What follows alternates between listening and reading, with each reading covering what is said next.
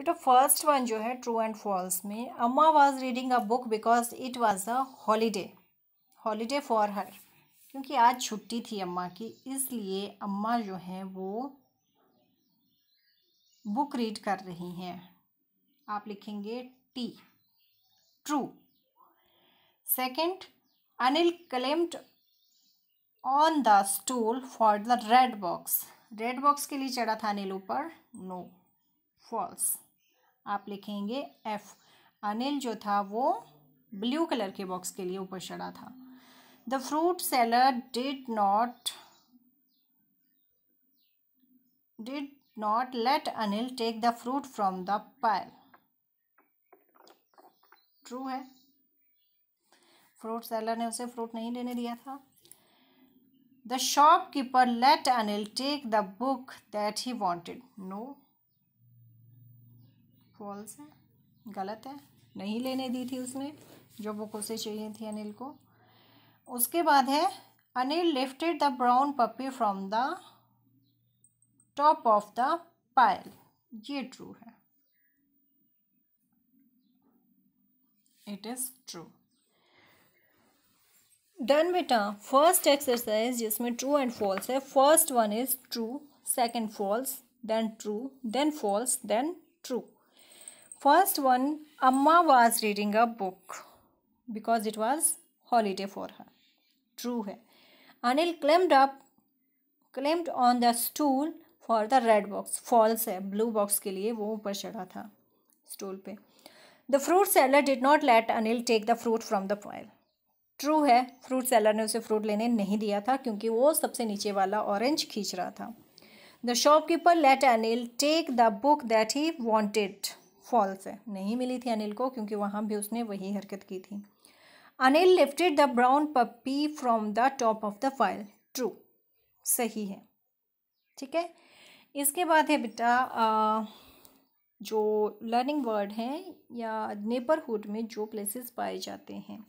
यहाँ पज़ल है। आप पज़ल में देख सकते हो कि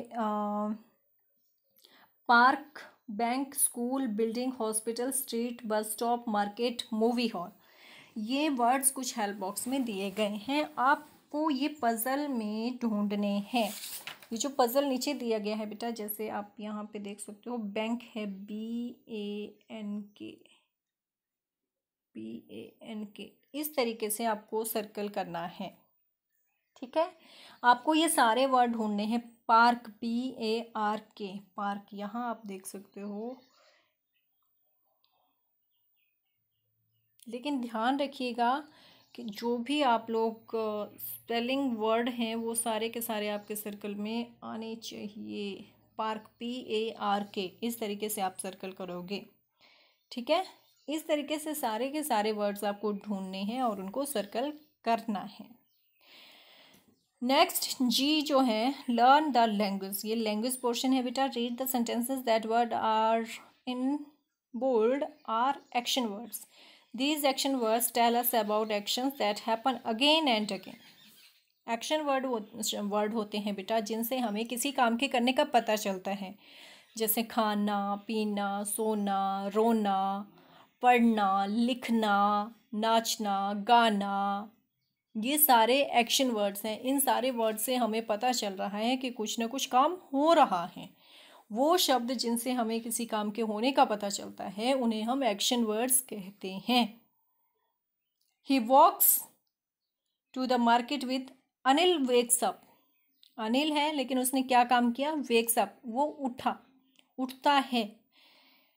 He walks to the market with अम्मा फिर उठने के बाद उसने क्या काम किया? वॉक्स वॉक की उसने कहाँ तक? मार्केट तक। अम्मा के साथ। काम क्या किया उसने? वॉक किया। ही स्लीप्स एट नाइट और रात को उसने क्या काम किया? स्लीपिंग स्लीप्स रात को वो सो जाता है। When we talk about only one person or thing we add s or e s to the action word अब जो एक्शन वर्ड होते हैं बेटा सेंटेंस में आप देख के ही पहचान सकते हो कि हाँ ये एक्शन वर्ड है, ये कोई काम किया जा रहा है। तो जब ये सिंगुलर फॉर्म में है सिंगुलर मीन्स एक है, अकेले किसी ऑब्जेक्ट की बात हो रही है तो उसके साथ हम एस या ई एस ऐड करते हैं। अगर वो प्लूरल फॉर्म में है तो वो एज इट इज़ ही लिखा जाता है। जैसे प्ले है। अगर हमने यहाँ पे एग्जांपल लिया है, रमन का, Raman plays football Raman football खेलता है तो अकेले रमन की बात हो रही है। अकेला है मीन सिंगुलर है। तो प्ले के साथ हम एस या ई एस ऐड करेंगे। लेकिन अगर हम करें बात the boys play football the boys play football यहाँ बॉयज़ हैं। एक से ज़्यादा बच्चे हैं। लड़के हैं। तो हम लोग प्ले को प्ले ही रहने देंगे। उसके साथ कोई एस या ई एस ऐड नहीं करेंगे। सिंगुलर फॉर्म में हम एस या ई एस ऐड करते हैं, जबकि प्लूरल फॉर्म में वर्ब को एज इट इज़ ही लिखा जाता है। सेम यही रूल यू एंड आई के साथ भी इम्प्लीमेंट होता है।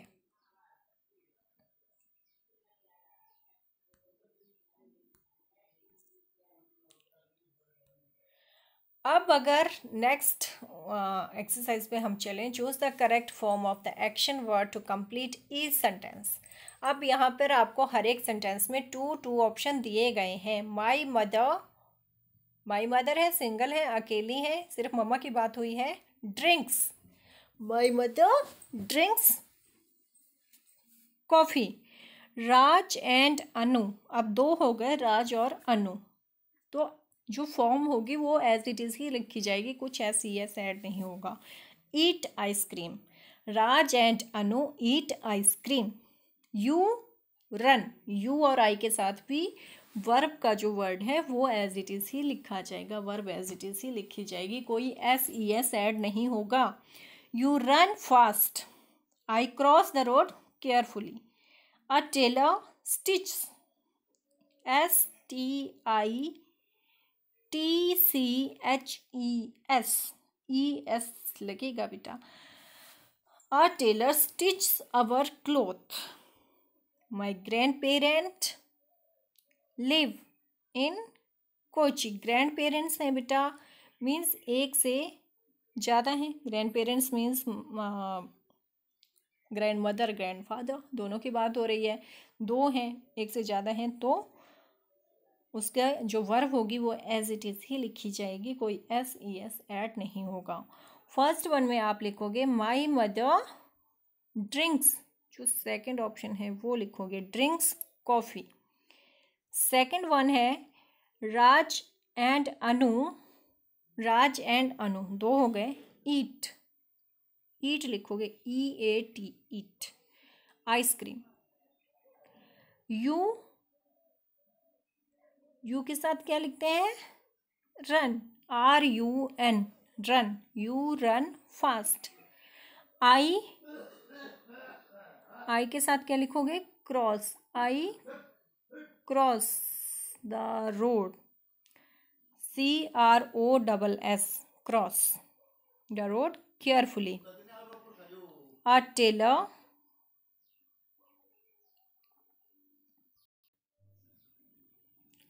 a tailor stitches. Second option जो है, वो लिखोगे s t i t c h e s stitch our cloth a tailor stitch our cloth my grandparents live l i v e l i v e live in Kochi done next है आपका choose the correct action word from the boxes for each sentence add s or e s to the action word if needed अब अगर यहाँ पे जो filling the blanks दे रखे हैं, उनको आपको लिखना है और लिखने के लिए मीन्स आप लोगों को डिसाइड करना है कि अगर वो सिंगुलर फॉर्म में है तो उनके साथ एस ई एस यूज़ करना है। अगर वो प्लूरल है तो वर्ब को एज इट इज़ ही लिखा जाएगा। द कैट्स अब कैट है। अगर सिंपल एक कैट की बात होती तो ऐड होता। लेकिन ये कैट्स हैं, ज़्यादा हैं। It means verb eat it is ही लिखी जाएगी। The cats drink milk the cats drink milk Mini Mini sings Mini अकेली है तो एस ऐड हो जाएगा। Mini sings a song miss Sharma miss Sharma अकेली हैं ऐड होगा। Teach miss Sharma teach us English I wash my hands before eating food. I wash my hand I के साथ कुछ भी ऐसे या ई एस ऐड नहीं होता है एज इट इज़ ही वर्ड लिखा जाएगा. द शॉप शॉप ओपन्स अकेली एक शॉप की बात हुई है। अगर शॉप्स होता तो ओपन आता, लेकिन एक शॉप है तो ओपन्स आएगा o p e n s the shop opens at nine a the cat drink milk Mini sings a song miss Sharma teach us English I wash my hands before eating food the shop opens at nine a m done ये page हो गया। Next page पे बेटा यहाँ पे कुछ birds हैं। जो आपको जो फिलअप्स आप देख सकते हो इन फिलअप्स में बेटा आपको डबल ई या आई ई fill i e or double e in the blanks to complete the words. यहाँ पे बेटा जो आई ई है या डबल ई है ये दोनों एक ही साउंड देते हैं। लेकिन जो आ, लेकिन जो वर्ड है बेटा वो डिफरेंट डिफरेंट हैं। तो मेन मोटिव ऐसे फिलप्स का यही होता है कि आपकी वोकेबलरी जो है वो इंक्रीज़ करनी है। आपकी आ, आ, कौन सा कहाँ पर कौन सा फिलअप लिखा जाएगा कौन सा वर्ड लिखा जाएगा और लिखने के बाद आप उन वर्ड्स को ज़ोर ज़ोर से पढ़ोगे। फ़र्स्ट वर्ड में आई ई फिलअप होगा। N i e c e niece ठीक है? भतीजी जिसे हम कहते हैं, चाचा की बेटी। Feet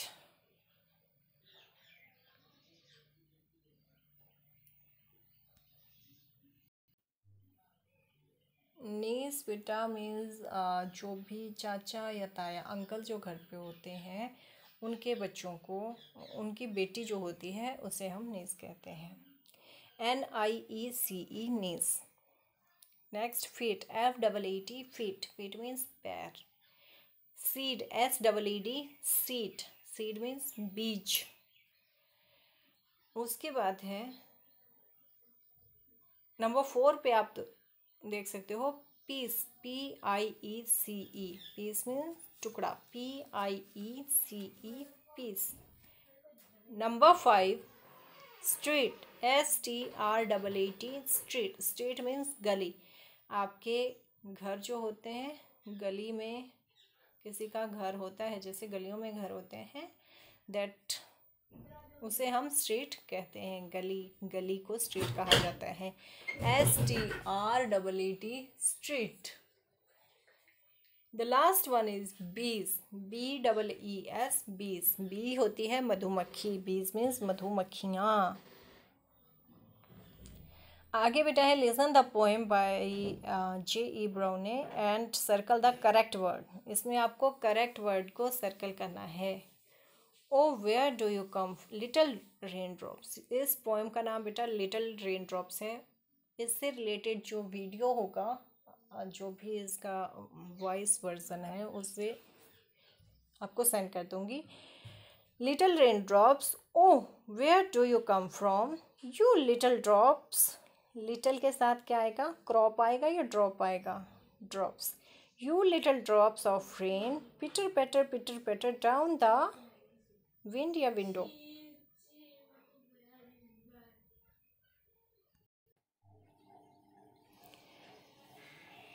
O where do you come from you little drops of rain. Drops लिखा जाएगा, बेटा, सिर्फ़ टिक करना है इसे। Pitter patter pitter patter, down the window pane.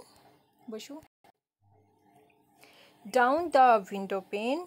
You won't let me walk and they won't let me play. They won't let me walk and they won't let me play and they won't let me go out of doors all at all today. They put away my playthings because I broke them all. And then they locked up all my bricks and took away my wall. Then say, I am very naughty, but I have nothing else to do but sit here at the window. I should like to play with you. ठीक है बेटा next page number fifty seven पर है उस पर आपको fill-ups करने हैं, उस हेल्प बॉक्स आपके यहाँ दिया गया है। Takes buys goes watches tells on Sunday my father goes to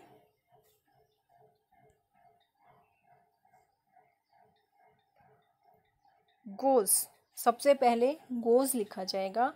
On Sunday my father goes to the market to buy groceries he always buys second one पे buys tomatoes, potatoes and other vegetable.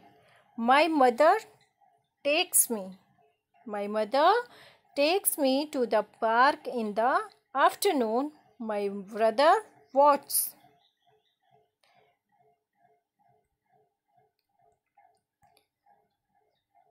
TV in the evening. At night, my grandmother tells us a story, a bedtime story. Done एक बार फिर से इसे repeat कर लेते हैं।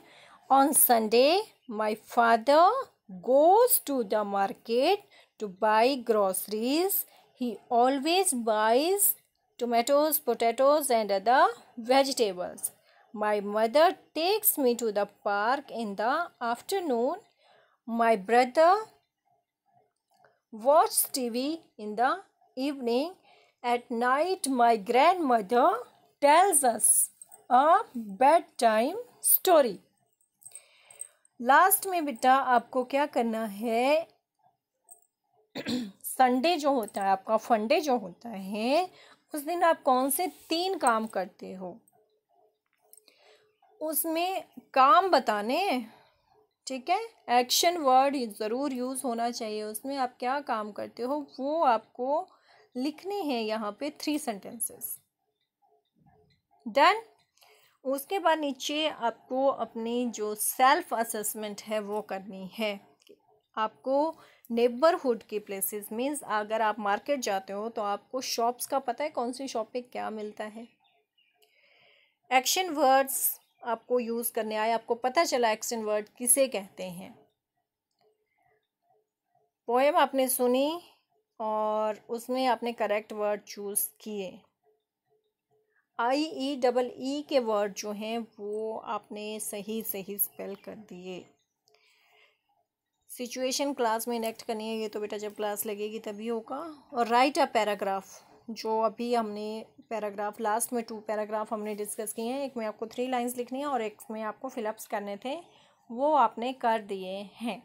अगर कर दिए हैं तो ठीक कीजिए I can do it on my own अगर आपने हेल्प से किए हैं। I can do it with help आप बिना हेल्प के नहीं कर सकते हो तो उस पर टिक कीजिएगा। अगर बेटा आपको चैप्टर में कहीं भी कोई डाउट अभी रहता हो तो आप मुझे कॉल कर सकते हो, आप मैसेज कर सकते हो, और अपना वर्क जो है बेटा ब्यूटीफुली कीजिएगा। ओके थैंक यू बेटा. Have a good day